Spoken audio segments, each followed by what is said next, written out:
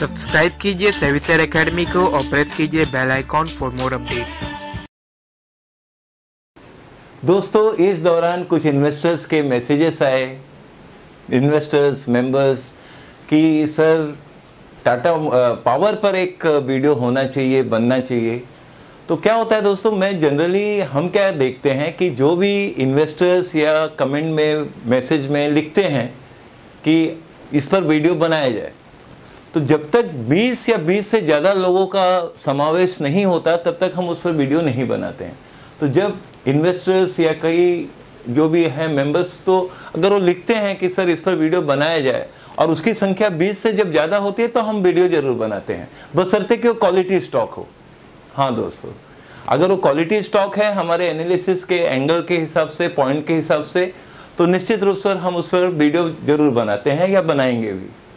तो ध्यान रहे, जब 20 और 20 से ज़्यादा कोई बात या विषय या डिमांड होता है लोगों का तो उस हिसाब से हम वीडियो बनाते हैं। चलिए दोस्तों, मैं आपका ध्यान आज आकर्षित कर रहा हूँ टाटा पावर पर। पहले दोस्तों, मैं कुछ कहना चाहूँगा टाटा पावर के बारे में। टाटा पावर दोस्तों, देखा जाए तो 104 साल 104 इयर्स ओल्ड कंपनी है। ये स्टेब्लिश हुआ था 18 सितंबर 1919 को। 18 सितंबर 1919 में ये स्टेब्लिश हुआ था और इसका हेडक्वार्टर बॉम्बे हाउस तो यहाँ पर ही मुंबई में जो बॉम्बे हाउस नाम से ये इसका हेडक्वार्टर्स है फ्लोरा फाउंटेन से काफ़ी नज़दीक में ही है हेडक्वार्टर्स और यहाँ पर हाँ सर दोराब जी, टाटा इसके फाउंडर थे. तो टाटा पावर का देखा जाए तो कंट्रीब्यूशन इंडिया में बहुत बड़ा है दोस्तों. और अगर इनका कार्य भी से देखा जाए ऑपरेशनल लोकेशन जो देखा जाए तो दोस्तों इवन नंबर ऑफ़ कंट्रीज़ में है। टाटा पावर सिंगापुर में, इंडोनेशिया, अफ्रीका, और भी कई कंट्रीज़ में इनका समावेश है दोस्तों। तो मैं ज़रूर ये कहूँगा कि Tata Power long term point of view से one of the best stock है दोस्तों। चलिए, आपको जो आपका प्रश्न है, उसका उत्तर भी मैं देने जा रहा हूँ और आपका ध्यान आकर्षित कर रहा हूँ टाटा पावर की तरफ़। ये मेरा पार्ट वन है दोस्तों। चलिए आपका ध्यान आकर्षित कर रहा हूँ। टाटा पावर का जो क्लोजिंग प्राइस था ट्वेंटी थर्ड जून 2023 के दिन तो उस समय उसका current market price 218.30 as on twenty third June 2023 के हिसाब से। Market capitalisation no doubt large cap में ही है।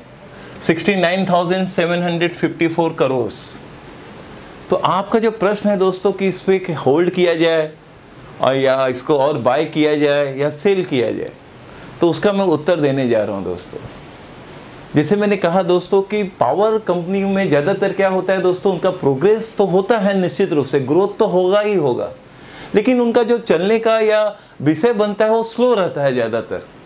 तो पावर कंपनी में अधिकतर क्या होता है कि उनके जो ग्रोथ होते हैं ग्रोथ ज़रूर होता है और होगा भी। लेकिन उनका जो प्राइस में शेयर प्राइस में जो उनके प्राइस एक्शन आते हैं या उसके प्राइस में हम टर्म में देखते हैं तो वो स्लो थोड़ा चलता है। तो अगर मुझे याद है, कुछ वर्ष पहले इसका ऐसा भाव था, मुझे याद है 55 56 रुपीस भी मैंने टाटा पावर का भाव एक बार देखा है। लेकिन नंबर ऑफ़ ईयर्स बैक की बात कर रहा हूँ दोस्तों, मुझे याद नहीं है कौन से ईयर की मैं बात कर रहा हूँ, लेकिन मैंने ये भाव 55 56 भी टाटा पावर का भाव देखा है। बस इतना याद है मुझे दोस्तों। तो चलिए आपको मैं ये याद दिला दिया, ये बात कह दिया है आपके जस्ट नॉलेज के लिए। तो पहले तो मैं कहूँगा, जैसे पहले ही कहा दोस्तों कि टाटा पावर एक ऐसा स्टॉक है जो लॉन्ग टर्म के लिए बेस्ट है। तो आपको इसे होल्ड करना चाहिए। जो लॉन्ग टर्म इन्वेस्टर हैं, वो होल्ड ही करें टाटा पावर को। हाँ बिल्कुल।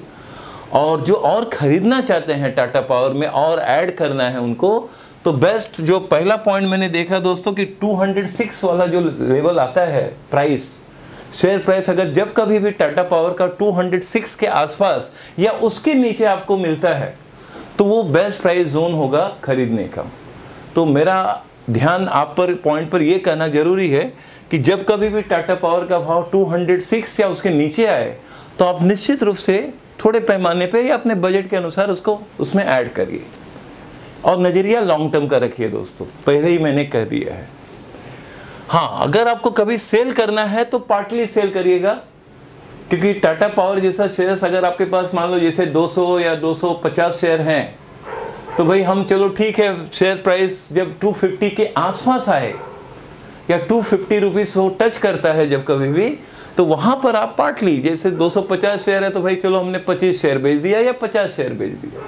और उस भाव पर हमने शेयर्स को बेचा है, लेकिन पार्टली जैसे मैंने अभी कहा ना, अगर आपके पास 250 शेयर है तो या तो वहाँ 25 शेयर बेचिए या 50 शेयर मैक्सिमम बस उससे ज़्यादा नहीं। तो उस तरह से आप पार्टली वहाँ सेल कर सकते हैं, जो सेल का पॉइंट वहाँ पर जा सकता है। और ये थोड़ा स्लोली स्टडीली धीरे धीरे उस तरफ़ जाएगा दोस्तों। ये भी मैं देख रहा हूँ। लेकिन थोड़ा समय लगता है कभी कभी या पावर सेक्टर जिस दिन मार्केट में सभी ट्रेडर इन्वेस्टर्स सिर्फ़ पावर काउंटर पे ही ज़्यादा ट्रेडिंग कर रहे हैं तो उस दिन हो सकता है टाटा पावर में बहुत गतिशीलता आ जाए। और जब कभी भी दोस्तों टाटा पावर का भाव 250 या उसके ऊपर गया, उसी दिन या उसके दूसरे दिन मेरा पार्ट टू का वीडियो ज़रूर आएगा टाटा पावर के लिए। ये ध्यान में ले लीजिए। और बस है वो समय, वो तारीख आएगा ज़रूर। लेकिन हो सकता है समय भी लगे। और जैसे मैंने अभी कहा दोस्तों कि जिस दिन पावर सेक्टर का काउंटर एक्टिव रहेगा तो उस दिन हो सकता है टाटा पावर एक ही दिन में टू परसेंट थ्री परसेंट या फाइव परसेंट भी ऊपर हो। तो डिपेंड करता है कि ट्रेडर और इन्वेस्टर्स के ऊपर निर्भर करता है कि वो उस दिन किस, इस काउंटर पे एक्टिव है तभी। तो मानता हूँ दोस्तों, जैसे आपने प्रश्न किया, वो मैंने उत्तर बता दिया आपको, उत्तर दे दिया। कि कितना, क्या किस भाव पे हमें और ज़्यादा ऐड करना चाहिए और किस भाव पे पार्टली सेल करना चाहिए। मैं मानता हूँ मेरी बात को आपने सरल रूप में समझ लिया होगा। बस चलते चलते मैं वही कहूँगा जो आप पहले से जानते हैं दोस्तों, कि हमारा लाइफ मेंबरशिप 15 अगस्त को, जिसमें हमने 50 परसेंट डिस्काउंट ऑफ़र किया है, वो आप प्लान कर लीजिए। और लाइफ मेंबरशिप में यही होता है दोस्तों कि हम शॉर्ट टर्म में आपको बाई कॉल देते हैं और आप शॉर्ट टर्म में एक रेगुलर इनकम साइड इनकम आप कमा सकते हैं मार्केट से। जिसमें हम दो बाई कॉल या उससे भी ज़्यादा देते हैं डिपेंड अपॉन मार्केट ट्रेंड के ऊपर निर्भर करता है। उसी के साथ साथ दोस्तों, मैं ये ज़रूर कहूँगा, अगर मार्केट में आपको वेल्थ बनाना है लॉन्ग टर्म के लिए तो portfolio management service is the best उसी हिसाब से हमारा मल्टीबेगर पोर्टफोलियो मैनेजमेंट सर्विस भी है, वो आपके इन्वेस्टमेंट प्लान पर निर्भर करता है। लेकिन ये है कि यहाँ पर आप लॉन्ग टर्म के हिसाब से मार्केट में अच्छा पैसा और वेल्थ बना सकते हैं। और उसी के साथ साथ दोस्तों, इस समय हमारे पास एक तरफ़ से तो मैं देख रहा हूँ, हमारे पास दस प्लेटिनम स्टॉक है, पाँच मल्टीबेगर है तो उस तरह से आप इसमें भी प्लान कर सकते हैं।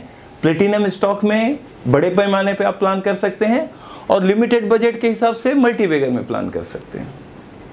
तो इससे संबंधित जो भी आपको जानकारी चाहिए दोस्तों व्हाट्सएप में मैसेज कीजिए, आपको सारी जानकारी प्राप्त हो जाएगी। चलिए, फिर मिलते हैं, फिर मिलते हैं।